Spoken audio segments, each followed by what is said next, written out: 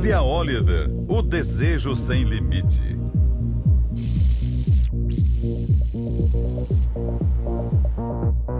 Um assunto polêmico que divide opiniões. O sexo, a gente depende de sexo. Todo dia. Por semana eu faço umas quatro vezes. Umas duas vezes tá ótimo, né? Sete, dez vezes acho que já é um excesso. Sexo, quase sempre relacionado ao prazer, Você procura sempre se satisfazer, ficar realizada. também pode ter uma face assustadora. Quase desmaiei no serviço por falta de sexo. Um vício que devasta famílias. Interrompe carreiras. E pode trazer riscos extremos. Você já fez o teste do HIV? Não. Por quê? Não tinha coragem. Mas afinal, o que leva alguém a se tornar um compulsivo sexual? Aos 42 anos, Nubia Oliver exibe o corpão sempre que pode. As curvas perfeitas transformaram a modelo em símbolo sexual. Tanto que a mineira entrou para o Guinness Book por um recorde inusitado: posar nua. Até agora, foram 16 capas de revista, sem roupa. Eu sempre fui um produto que vendia bem. Os números são altos também quando o assunto é sexo. Núbia perdeu a conta de quantos parceiros teve na cama. Mas acha que foram pelo menos 400 homens diferentes. Foi começando, foi um, foi dois, e todo dia tinha que dormir fazendo isso, acordar fazendo isso, procurar alguém para fazer isso comigo.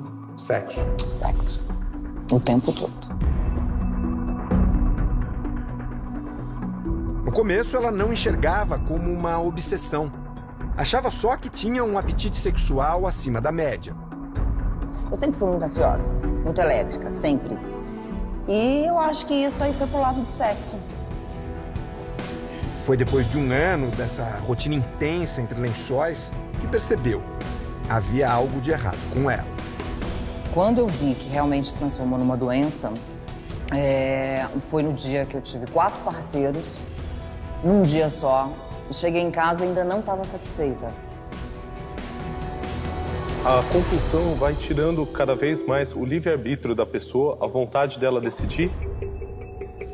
Núbia procurou ajuda e descobriu que era uma compulsiva sexual. Era uma coisa desmedida e, e não era satisfatória. Tinha que acontecer outra vez, tinha que acontecer mais, tinha que acontecer. E é, acaba sendo um sofrimento, porque você para a tua vida, você fica em função daquilo ali.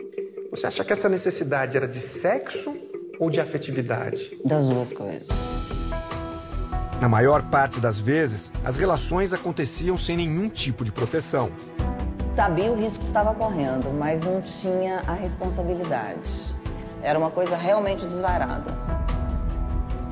Justamente por toda a característica de impulsividade que se manifesta quando se caracteriza uma compulsão sexual, eh, diminui a chance da pessoa usar o preservativo.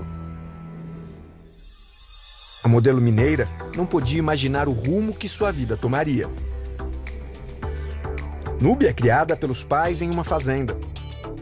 Meu pai sempre foi uma pessoa mais rústica, né? Uma pessoa sempre de fazenda e, e sempre mais conservadora. Já adolescente, vai morar com os avós em Uberlândia para poder estudar. Mas depois de algum tempo se muda para um pensionato. Também achei melhor porque aí eu tinha mais liberdade.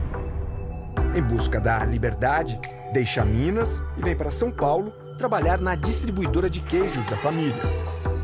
Então não vim para São Paulo para ser artista, aquela coisa não.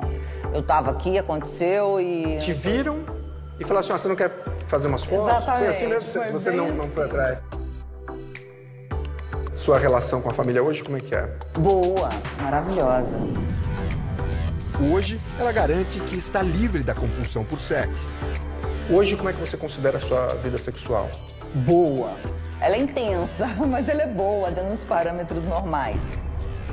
Nossa meta de tratamento não é a pessoa parar de ter com, o comportamento sexual, porque o sexo é fisiológico. Então a nossa meta é que você atinja maior controle e maior equilíbrio.